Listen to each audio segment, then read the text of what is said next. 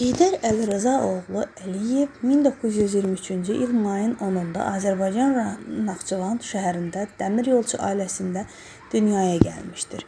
1939-cu ildə Naxçıvan Pedaqoji Texnikumunu bitirdikdən sonra Azərbaycan Sənaye İnstitutunun Memarlıq fakültəsində təhsil almışdır.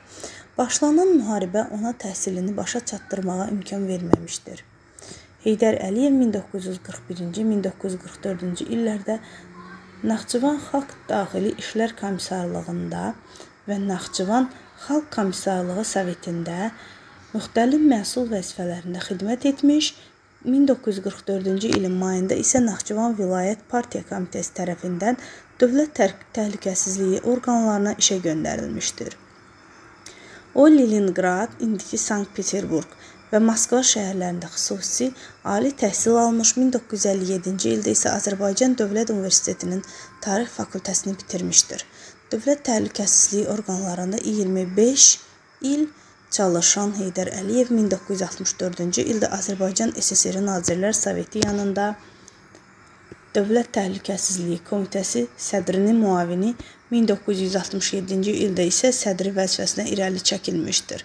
Heydər Əliyevə 1967-ci ildə SSR Nazirlər Soveti yanında Dövlət Təhlükəsizliyi Komitəsi tərəfindən general-mayor rütbəsi verilmişdir.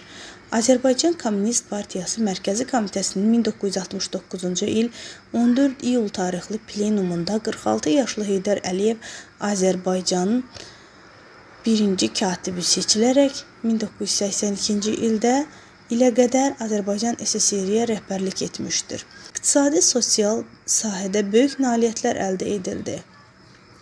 1982-ci ilin dekabrında Sovet İttifaqı Kommunist Partiyası Mərkəzi Komitəsi siyasi bürosunun üzvü seçilən Heydər Əliyev SSR Nazirlər Soveti sədrinin birinci müavini vəzifəsinə təyin edilmiş və SSR-nin rəhbərlərindən biri olmuşdur. Heydər Əliyev SSR Ali Sovetinin deputatı 9-cu çağırış SSR Ali Soveti İttifaqının Sovetinin sədr müavini, Ali Sovetin deputatı, Azərbaycan SSR Ali Sovetinin deputatı və Azərbaycan SSR Ali Soveti Rəyasət Heyətinin üzvü olmuşdur. 1990-cı ilin iyulunda Azərbaycana qayıdan Heydər Əliyev ilk əvvəl Bakıda, sonra isə Naxçıvanda yaşamış.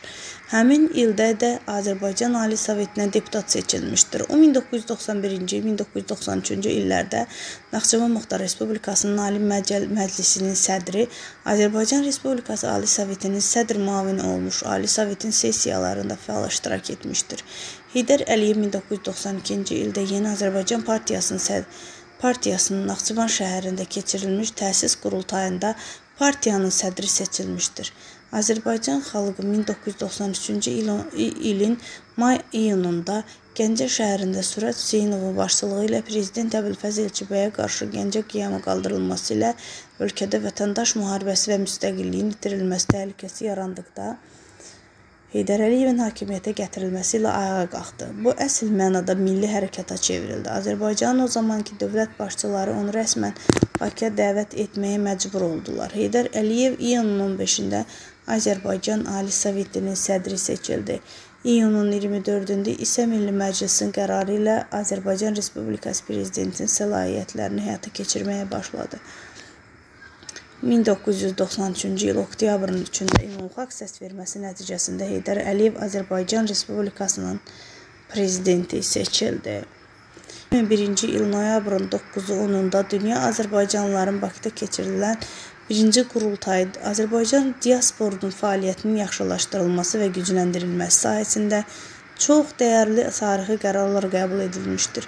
2003-cü ilin prezident seçkilərində namizədliyinin irəli sürülməsinə razılıq vermiş, Heydər Əliyev səhhətində yaranmış problemlərlə əlaqədar seçkilərdə iştirak etməkdən imtina etmiş və öz namizədliyini İlham Əliyevin xeyrinə geri götürmüşdü. Azərbaycan Ümumilli lideri Heydər Əliyev 2003-cü il dekabrın 12-sində müalicə olunduğu Cleveland klinikasında, yəni ABŞ-da vəfat etmiş. Dekabrın 15-də Bakıda 1-ci Fəxri xiyabanda dəfn olunmuşdur.